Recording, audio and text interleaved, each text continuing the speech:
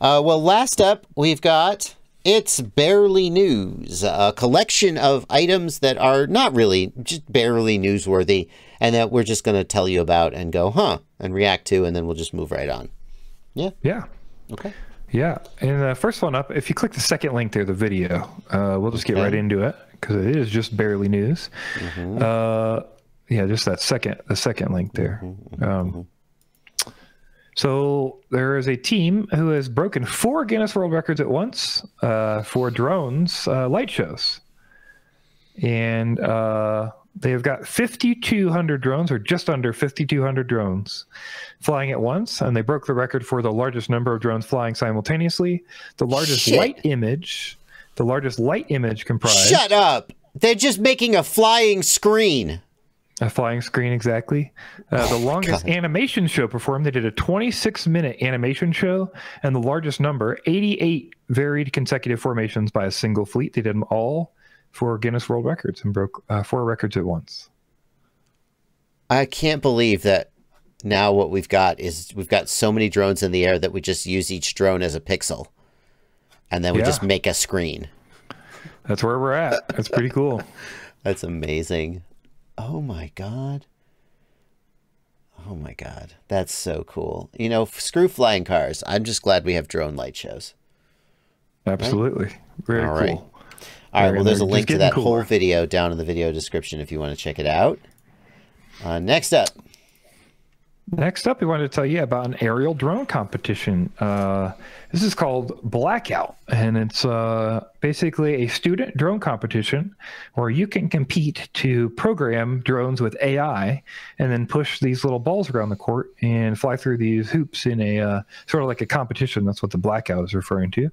Um, and yeah, you basically set it and forget it, and you they do like little sixty second runs, and all the drones can compete against each other, but it's with pre-programmed AI uh, algorithm stuff. So wow. a l- way for students to compete, and uh, I think they offer some scholarships through this program. So pretty cool. Yes, that's pretty cool.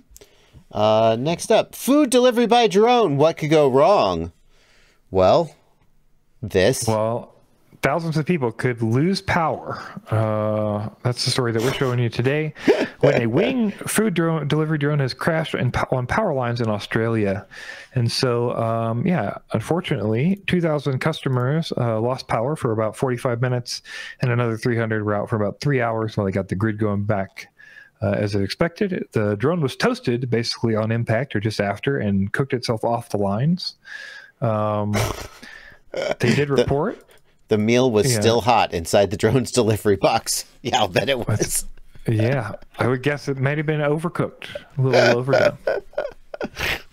We don't have any video of the actual incident, do we? I'm looking through this story. It's just there's like no actual stock no photography. incident video. Oh man. Well, okay. Well, I'm sure there's going to be more of that going on. So, Yeah, um, meanwhile, the person is there like, "Where's my freaking delivery? I ordered some freaking tacos, and why don't I have power? and why don't I have power? Well, the power's out, but at least tacos are coming." yeah, man, I kind of want power to make food. okay. Oh. Uh so now we're going to uh next up we're going to solve the problem with with bees and we're going to solve them with drones. Yeah, this is a little weird to me. I'm not sure I totally think this is going to work. This doesn't seem like the most efficient way to do this at all to me. But um, they want to use uh, drones like bees, uh, to, to- and they think that they can basically use the propellers to help spread pollen between flowers.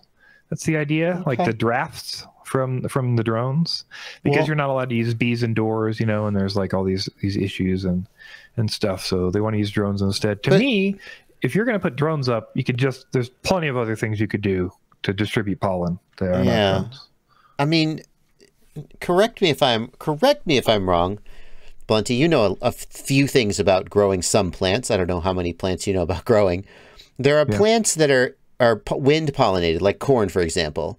Corn is wind pollinated. You have to it, it blows the pollen from one to the other. So I could imagine that a drone blowing the pollen would help in a case of a plant like that. But aren't there other plants that essentially require sort of manual pollination? Something has to, like a bee. To get a to get a proper success rate, yeah, because the I think like the location of the what stamen or whatever where where you get Yeah. the pollen to um, is more difficult with some species and stuff. So Well, Jake H asks, does Blunty grow his own weed? not anymore. We Not used to. anymore. You used to be a professional, a professional weed blower. Yes. Ran a grow. Yeah. Not anymore that anyone knows of. No, cannabis doesn't have that problem. He can he can sneeze in a general direction and pollinate half a room. So Cannabis is pretty slutty. That's what you're saying. It's the worst. It's the worst. Yeah. Why is it the worst? You could think because you don't want uh, seeds are the bad. We don't like seeds. Oh, you don't want pollination. Correct. yeah. Right. You want sterile part plants. of the goal is You yeah. live- That's why we like clone and we only have females and you have to cull males if you do seeds and yeah, it's a whole thing. Oh, man. Interesting. Oh, it's a regulatory, legal thing if you have seeds. Yes, you Is also that- have to oh. like categorize them all and they have to be licensed and Oh, you have wow. to pay for pay for planting them and like all the whole thing. Yeah. So how do you prevent the pollination from happening? You don't. It's all sham. Like most of the industry, it's all fake. Okay. You weren't supposed to say that part out loud. Hey, life happens. All right. All right. Life, uh, So- Jeff Goldblum says, life uh, finds a way. Mm, okay. Yeah. All right. I grew tomatoes. I literally tomatoes, not not the euphemistic tomatoes that's actually marijuana, but I grew tomatoes and and uh, cherry tomatoes are like that. So if you have like some beautiful Roma tomatoes, some big beefsteak tomatoes, and some cherry tomatoes, they'll all cross pollinate, and next year all of them will be cherry tomatoes. Like the cherry tomatoes are so slutty and dominant, and it's like Yeah. it's the worst because like I mean cherry tomatoes are fine, but that's not all I want. Yeah, we have this problem in cannabis where they uh, hermaphrodite. So, like, if you get too much stress, they'll just push their own. They'll produce their own pollen, even if they're a female. So, if you're not growing well, or you have issues, or like uh, you have some outbreak in a corner, or there's just a stunted plant and you don't pull it on the right time overnight, it just like blows pollen over half your room, and then you, yeah, it's not good. Good times. That's a really fascinating. That's fascinating. That's really fascinating. Uh, you see the kind of things you learn on the FPV news. Very true. Um, all right. Well, we're going to use drones to pollinate things now. Sure. Let's just solve all of our problems about with nature by adding more technology to it. That's the answer, isn't it? Yes, that's that's, the that's answer. the way. Let's not protect the bees or I don't know, make 5% less money this year. Let's just add, you know, the drones are a sham too. This is just another company that has some idea that they're trying to get investment or get a grant. It's all a lie. The only thing I believe in. What? I was. That's also probably very true. They're probably Yeah. trying to get some kind of grant into this. Yeah. The only thing I believe in is that light show. That's the only place in my life where I feel that technology is actually, I want to add more technology to it. Good. It does what it says it'll do. Like you get a drone light show and they go up there and they make cool things in the sky and it works. You know. Yep. So Yep. All right, good. We got one more. It's barely news. What do we got, Blunty? Yeah, we've got a uh, story from ABC. Uh, new. Oh man, I messed up that. Okay. So uh, yeah, so Hamilton County sheriffs in Cincinnati have decided to can their helicopters. We talked about helicopter costs earlier. Um, they are claiming helicopters cost them $3 million a year to operate, and they've got two. So they're selling them. And they are instead buying a fleet of drones, and they're going to use drones for the things they're using helicopters for in most cases. So they're going to use them for search and rescue and location and uh, yeah, reconnaissance and like all kinds of different things that uh, they were spending money on helicopters to do. This is interesting, and I definitely agree that there's lots of applications where a helicopter, uh, where a drone makes more sense than a helicopter. Uh, for example, in search and rescue, uh, you, you could relatively easily get someone out there with a ground vehicle, then put a drone in the air and fly a, you know, whatever, a 10 kilometer grid you know, uh, and and it, maybe there's what it would be a little bit faster with a helicopter, but maybe you could put ten drones in the air at the same time and search faster. But like, how are you gonna chase somebody who's doing a car chase with a drone? The drones, they don't have the speed and they don't have the range, and I feel like if we had really done this, we like we wouldn't have all these amazing car chase videos.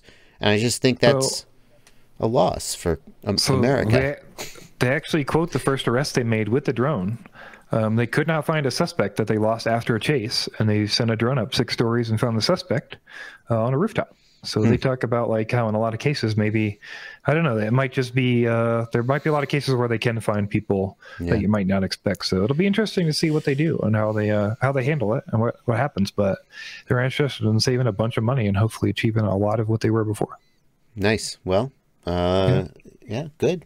Maybe maybe just fewer car chases. Maybe maybe car chases in general aren't a good idea. I don't know.